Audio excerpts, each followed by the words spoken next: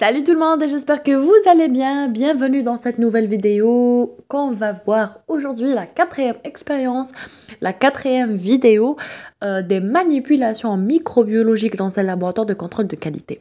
Donc je vais juste noter que ces vidéos-là sont basées, ou bien l'intérêt de ces vidéos, c'est pour euh, voir la manipulation au niveau des laboratoires. Suivez avec moi. Alors, le bon matin, on est arrivé au laboratoire, on a raté la préparation de ce milieu de culture, mais on a, mais on a arrivé à la phase presque finale. Donc, le monsieur, il a mis euh, le milieu de culture euh, dans des flacons pour qu'il va les passer euh, à la stérilisation euh, sous ou bien dans l'autoclave. Donc voilà pour le premier milieu de culture. Normalement, il va utiliser ce milieu de culture pour le contrôle de qualité des boissons. Normalement, c'est ça. Donc voilà, cette vidéo, elle va être un peu mélangée entre plusieurs échantillons, plusieurs manipulations. Donc on va voir justement la manip d'une façon générale. Donc ici, euh, la dame, elle est en train de préparer le TSA qui est un diluant. Donc euh, elle a pris les compositions, elle a pesé les compositions, donc j'ai pas filmé. Donc au début, elle a composé, elle a pesé la composition et elle a dilué avec l'eau distillée. Donc, euh, elle, a, elle a préparé environ 3 litres.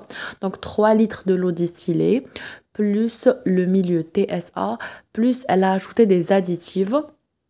Des, additifs pour, euh, pour préparer le TSA. Donc là, euh, la préparation de diluant TSA, il nécessite, il nécessite pas euh, une autre température.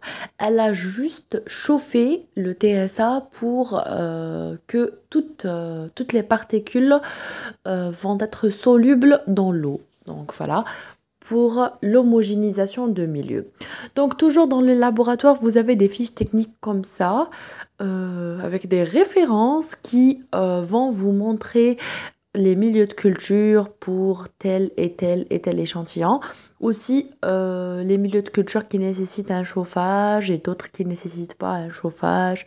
Des milieux de culture qui nécessitent haute température et d'autres non. Des milieux de culture euh, euh, dans des boîtes, dans des tubes. voilà, donc ainsi de suite.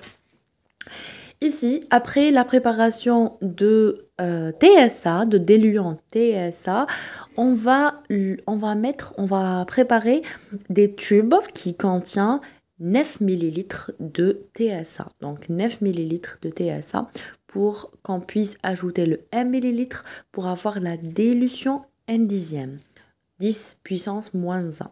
Donc voilà, la dame, elle a ramené tous euh, les tubes pour la préparation euh, de 9 millilitres. Donc on a ce, cet appareil-là pour, pour mesurer les 9 millilitres exactement. Euh, le monsieur il est en train de laver, il fait un lavage à l'eau distillée, il fait passer le l'eau distillée dans l'appareil pour que l'appareil soit stérile et va contenir que le TSA. Voilà, après le lavage de l'appareil, on va l'utiliser. C'est un appareil très utile, très pratique. Euh, il est super bien, donc il aide. Euh, on a gagné beaucoup de temps. Euh, c'est beaucoup mieux d'utiliser une pipette Pasteur, etc. Donc voilà, la première étape, c'est de dévisser les tubes. Donc on dévisse les tubes, on met les bouchons euh, d'un côté et les tubes ouverts d'un côté pour mettre les 9 ml de TSA. Donc quand vous voyez, on dévisse pratiquement tous les tubes pour faciliter la tâche de, euh, de la préparation de, euh, des tubes de dilution on peut dire. Donc ces tubes vont être utilisés pour la dilution 10 puissance moins 1, 10 puissance moins 2, moins 3, moins 4. Donc pour l'utilisation de, de dilution d'une façon générale. Donc voilà, c'est facile. Préparation de TSA, après euh, utilisation de l'appareil. Et après, on va mettre, on va mettre, on va mesurer les 9 ml et on va mettre dans des tubes euh, qui sont stériles. Donc voilà. Donc on a des graduations. On va vraiment, euh, on va vraiment fixer quand vous voyez le bouton dans 9 millilitres et ça va faciliter la tâche. Donc quand vous voyez, c'est vraiment facile. Il va mesurer 9 millilitres exactement. Donc voilà, dans tous les tubes, d'une façon très facile et très pratique. Donc voilà, on peut changer les mesures. Par exemple, ici, on a 9 millilitres, mais on peut changer les mesures euh, comme, on veut. Donc quand vous voyez, on peut changer, on peut jouer avec, euh, euh, ce bouton-là. Donc c'est vraiment très pratique. Et on va ensuite euh, visser les tubes. Et voilà, pour avoir la dilution, elle est prête à être utilisée, les 9 ml. Le milieu, pardon, le diluant, c'est le TS, pas le TSI, pas le TSA. Donc, c'est un, c'est un, diluant TS. Donc ici, on trouve des fiches qui euh, vont qui vont euh, partager le travail entre, le, entre le, les personnels, le personnel professionnel, donc les, les, personnes qui travaillent dans le laboratoire. Donc, euh, par exemple, aujourd'hui, c'est la dame qui a fait, qui a préparé les diluants TS. Donc, le lendemain, ou bien la demain, euh, c'est le monsieur, et ainsi de suite. Il y a des, des fiches dans les laboratoires qui vont partager le travail entre entre les employeurs. Donc voilà, elle a presque fini la préparation de TS, le diluant. On va visser tous ces tubes-là parce qu'on va les utiliser dans, euh, euh, la préparation des dilutions décimales. Donc voilà. Il y a même un risque, un risque dans la préparation des milieux de culture parce que c'est des produits chimiques. Donc euh, c'est bien de ne pas euh, faire cette manipulation chaque jour. C'est pour ça qu'ils se partagent le travail. Donc voilà, elle a mentionné que c'est un milieu TS et elle a mentionné la date, c'est le 25 mai 2022 et elle a mis le reste de diluants dans des flacons et comme ça elle peut les garder et elle va les réutiliser autrefois euh, en cas de besoin. Voilà. Ici, on a un bain-marie traditionnel parce qu'ils n'ont pas un bain-marie. Il, est, euh, il est en panne. Donc là, ils ont utilisé euh, une casserole euh, qui contient de l'eau et ils ont chauffé l'eau pour fendre, pour la fente des milieux de culture.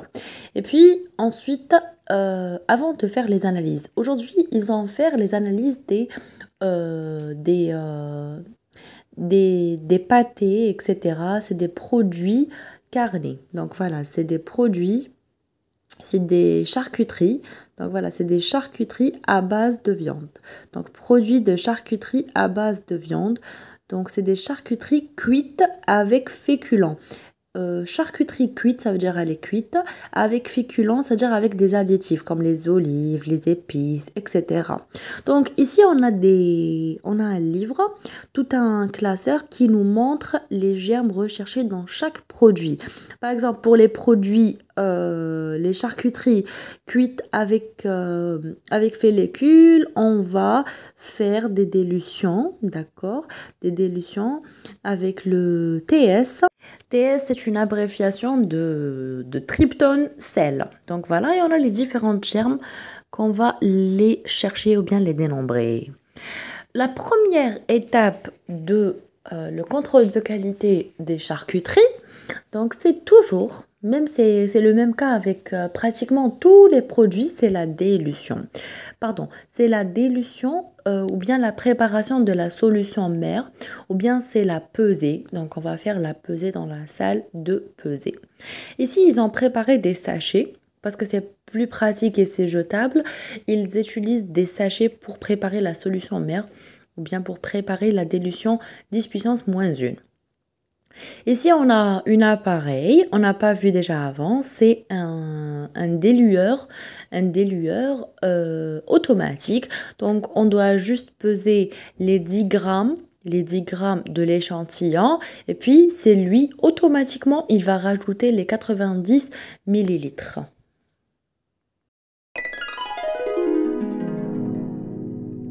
Comme on a déjà vu par avant, avant de peser un échantillon ou bien avant d'ouvrir un échantillon, il faut toujours travailler dans une zone de stérilité devant la flamme de bec benzène. Donc quand vous voyez la flamme de bec benzène est allumée, donc on désinfecte à l'alcool, à l'aide d'alcool, 70 euh, degrés.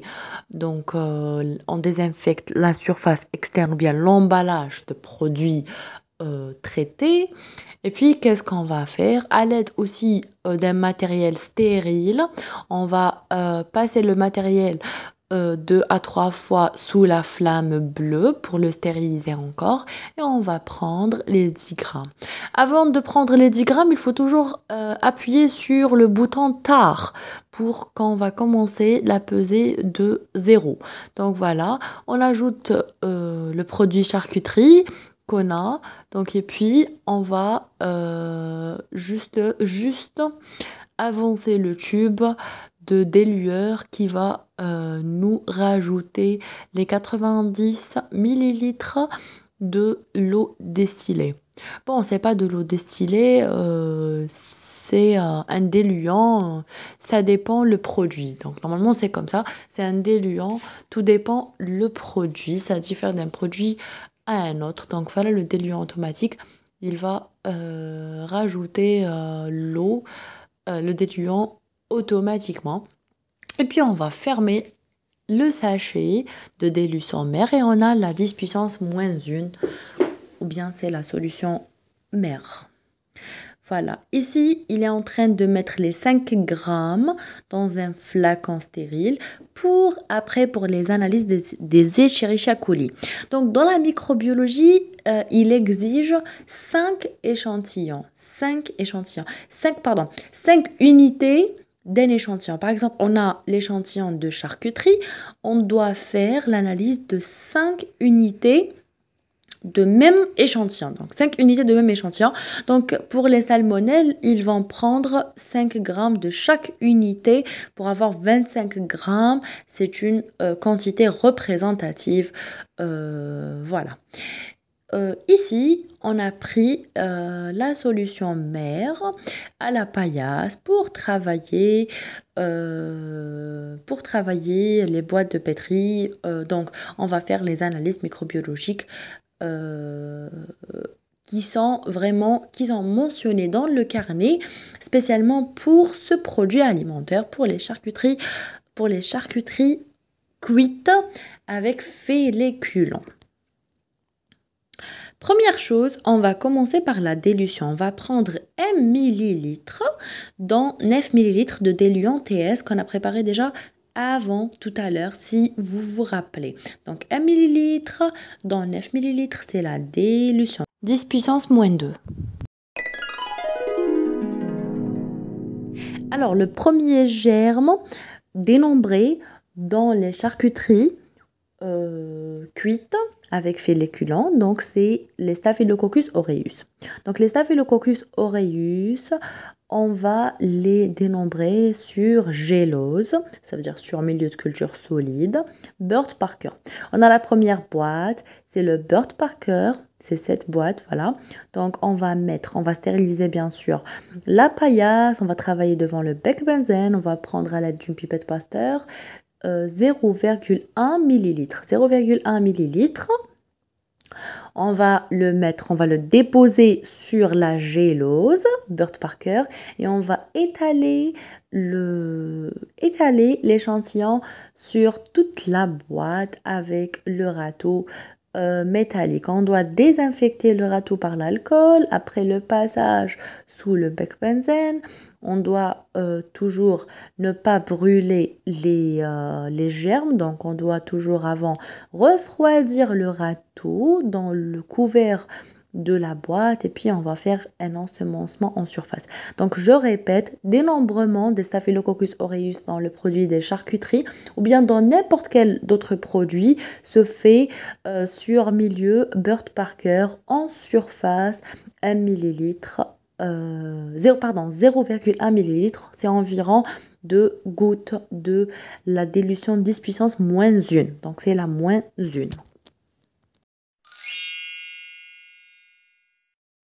Alors maintenant, on a quatre d'autres boîtes. Alors pour ces quatre boîtes, la première boîte, c'est pour la, le, dénombrement des Escherichia coli. Donc Escherichia coli, c'est la première boîte, c'est ensemencement en profondeur.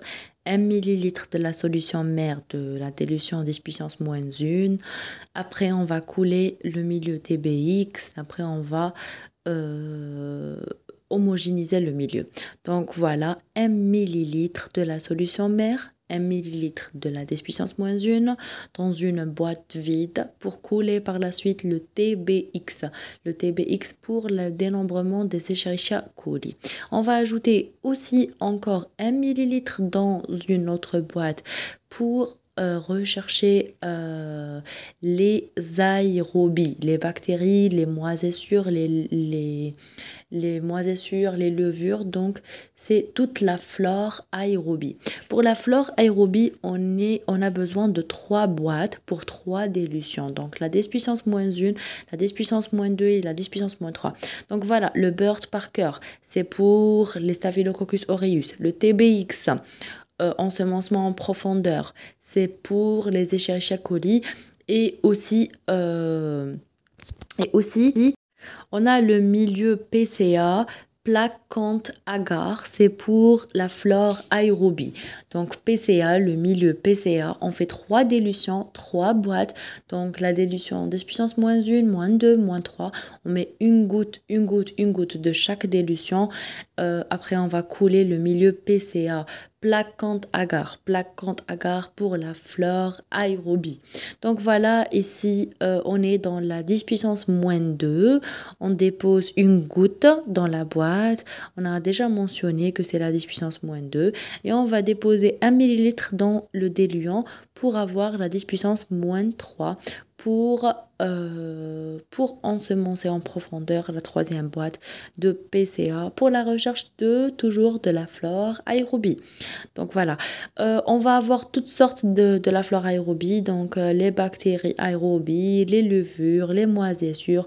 Donc ils vont tous pousser sur le milieu plaque Kant agar. Donc voilà, on va euh, pipeter 1 ml de la dilution 10 puissance moins 3 et on va euh, le déposer dans la boîte vide pour couler par la suite le plaque Kant agar, le PCA, le milieu PCA.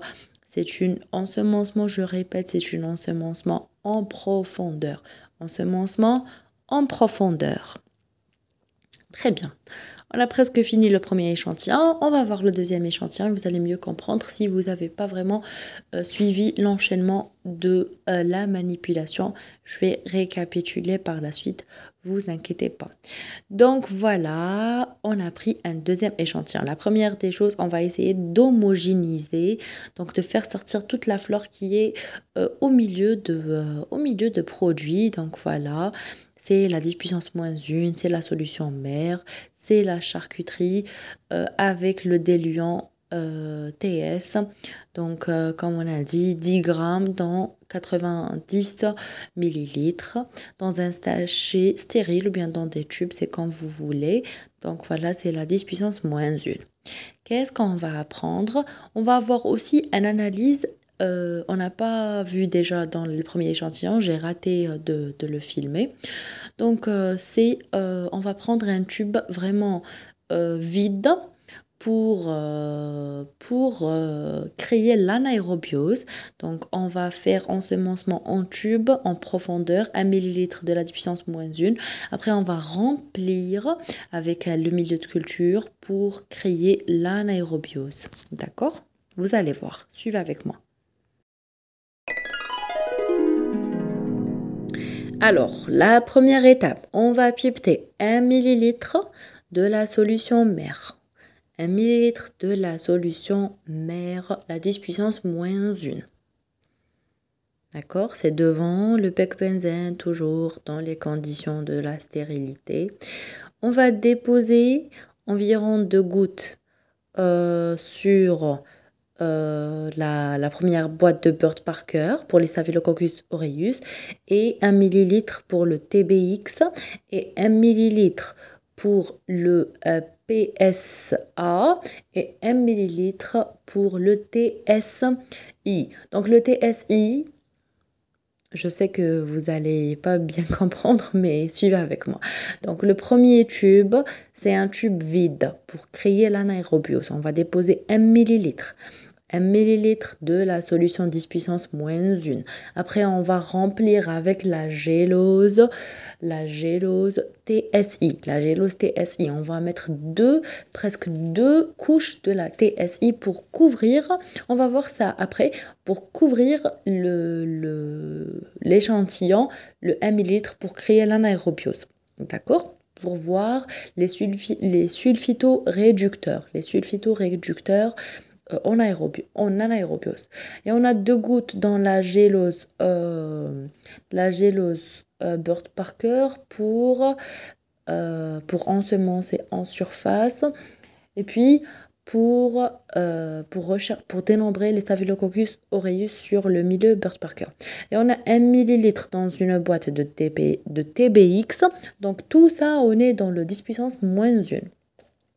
Et on a un autre 1 ml dans une boîte vide pour remplir avec le plaque contre agar pour rechercher aussi, pardon, pour dénombrer euh, la flore, euh, la flore aéro, la flore en anaérobiose.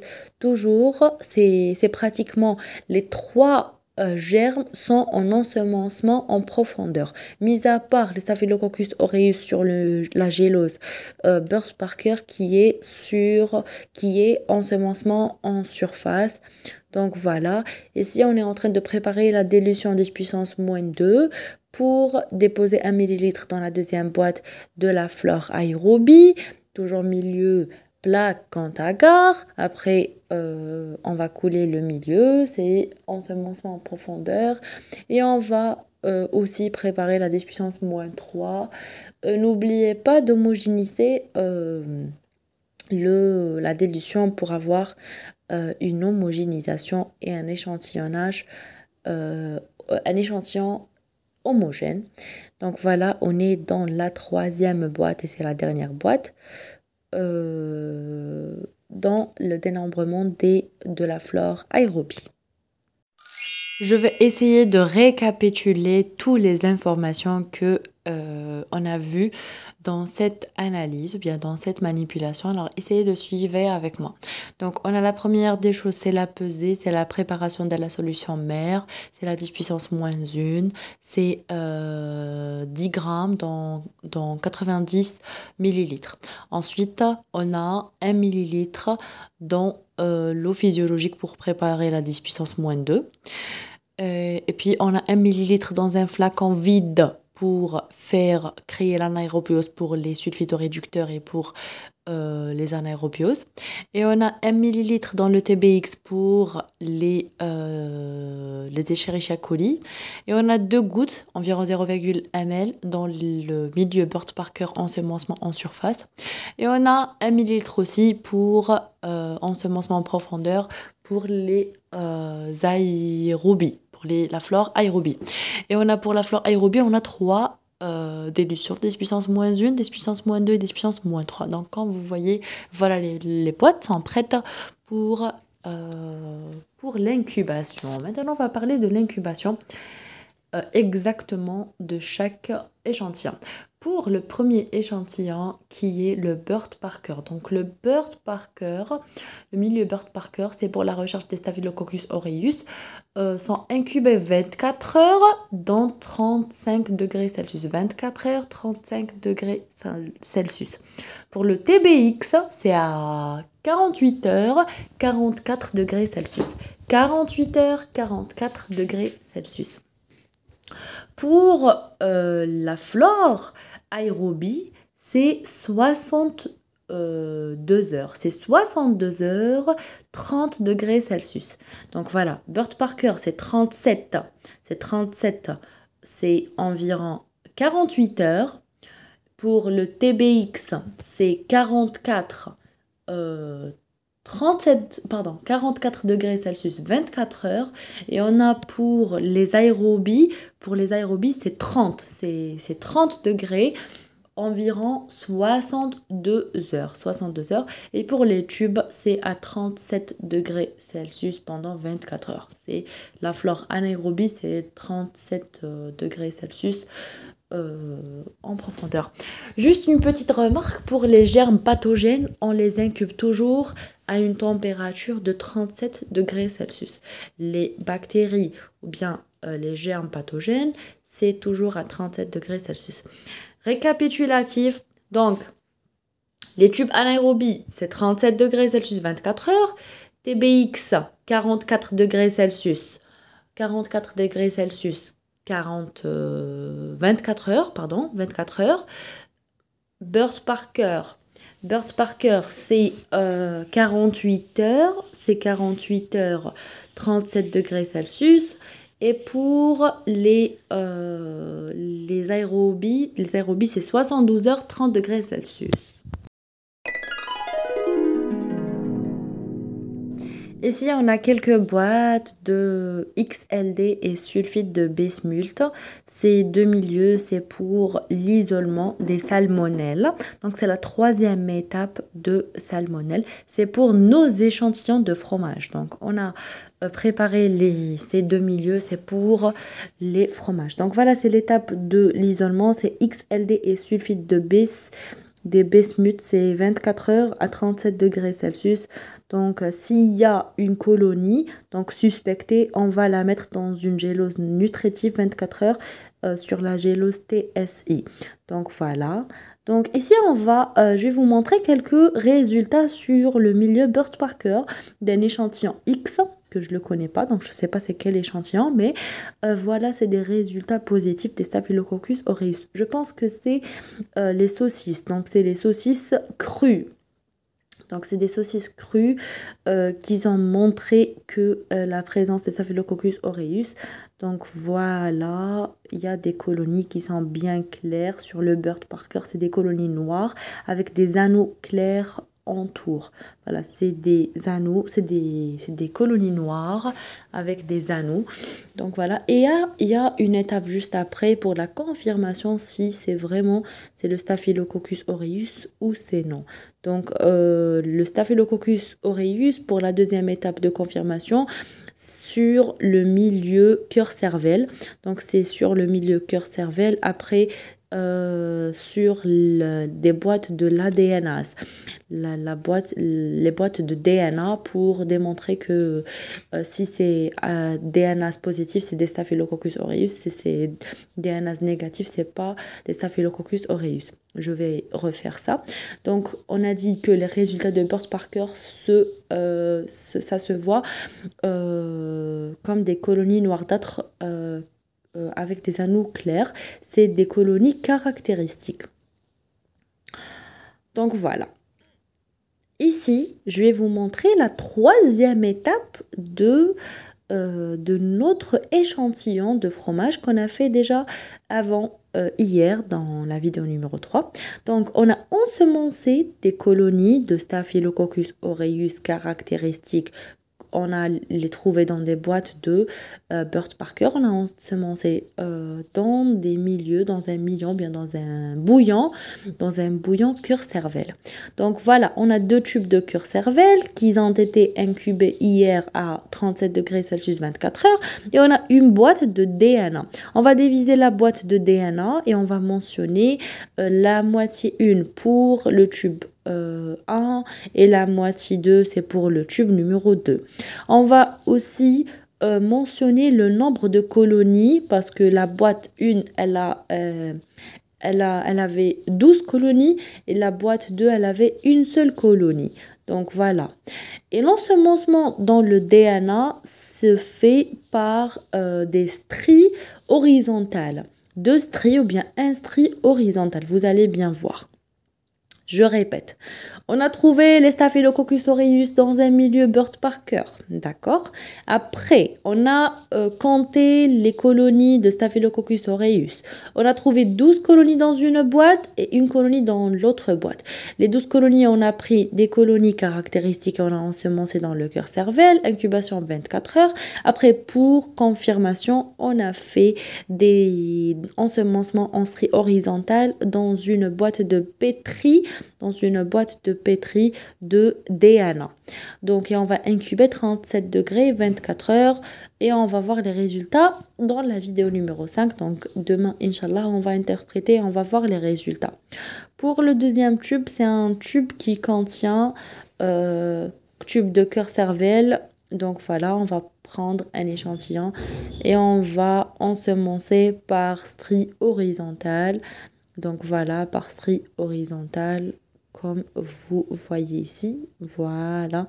Et c'est bon, on a fini toujours. On stérilise euh, devant bec benzène, dans la stérilité. Et voilà, on a terminé la manipulation. Voilà, l'échantillon E4, l'échantillon E3, une colonie, 12 colonies, la date, tout est mentionné. Et on va incuber 24 euh, heures, 37 degrés Celsius. J'espère que, que, vous avez bien compris. Essayez de prendre note parce que vraiment, euh, c'est pas évident de, de comprendre tout ça à la fois. Il faut voir la vidéo plusieurs fois ou bien il faut écrire et essayer d'apprendre ces informations-là. Voilà pour l'incubation de Machallah. On va voir les résultats de confirmation des Staphylococcus aureus des fromages qu'on a utilisés. C'est super.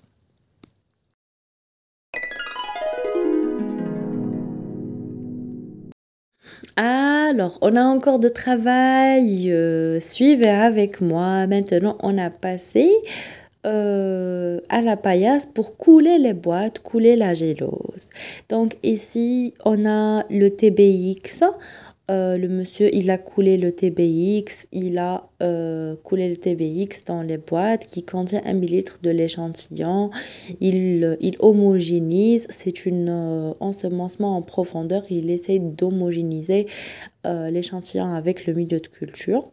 Donc voilà, c'est le milieu TBX normalement. On va voir si c'est le TBX ou bien c'est un autre. Hein. Voilà, c'est le TBX. Voilà, c'est le TBX. Donc, il va euh, les laisser refroidir. Après, il va les incuber à 44 degrés Celsius, 24 heures. Euh, la gélose en rose, c'est une gélose, je ne sais pas son nom, franchement, je ne sais pas. Mais je sais qu'elle elle est utilisée pour, euh, pour, les, pour les boissons.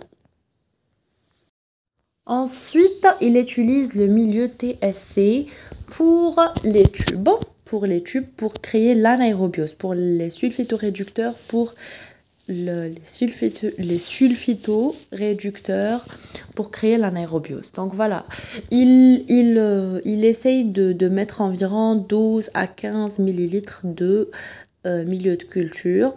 Donc comme vous voyez vraiment, euh, on a 1 millilitre de l'échantillon. Après on va mettre en profondeur, on va couler le milieu TSC, donc TSC. Après, il va mettre une deuxième couche après refroidissement pour assurer l'anaérobiose. Et puis voilà, il va compléter tous les tubes avec euh, tous les échantillons. Euh, je vais juste récapituler. C'est 1 ml de l'échantillon, euh, prix de la solution mère, la 10 puissance moins 1. Après, on va couler la gélose TSC pour créer l'anaérobiose. Euh, c'est un ensemencement en profondeur. Incubation 37 degrés Celsius pendant 24 heures. Donc voilà, après refroidissement de la gélose euh, dans les tubes, on va ajouter une deuxième couche de gélose pour assurer toujours l'anaérobiose. Voilà, la dame aussi, elle est en train de euh, couler euh, la gélose dans les boîtes, dans les différentes boîtes. C'est le milieu PCA pour la flore aérobie des trois délutions.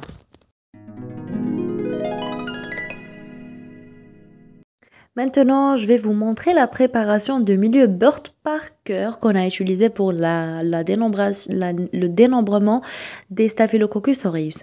Donc, suivez avec moi très très bien pour le milieu Burt Parker. Pour le milieu Burt Parker, on utilise un milieu de base qui est le Burt Parker sans additif. Donc, milieu Burt Parker sans additif, c'est euh, les deux flacons, les deux premiers flacons jaunes. Donc, on a environ 180 millilitres. On va ajouter, lui ajouter des additifs. C'est le tellurite euh, de potassium. Le tellurite, c'est le tellurite. On va ajouter 2 ml de tellurite pour chacun. Et on va ajouter 10 ml de l'émulsion de jaune d'œuf. 10 ml de l'émulsion de jaune d'œuf et 2 ml de tellurite de potassium. Donc voilà, c'est 2 ml ajoutés pour chaque flacon. Exactement ça.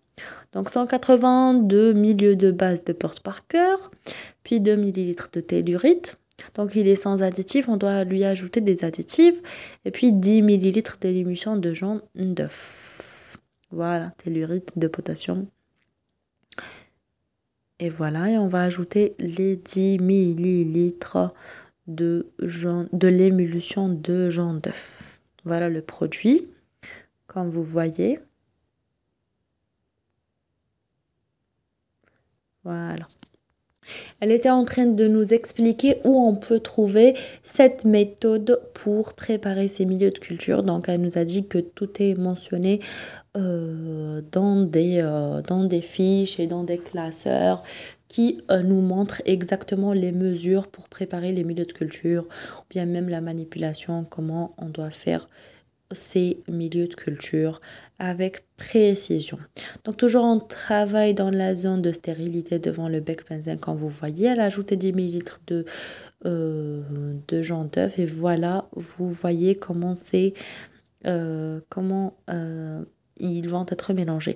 On doit directement vortexer ou bien mélanger parce que avant qu'il va refroidir, d'accord? Parce que il va refroidir vraiment euh, rapidement. Il est chaud parce qu'on a passé le milieu porte-parker de base sous bain-marie.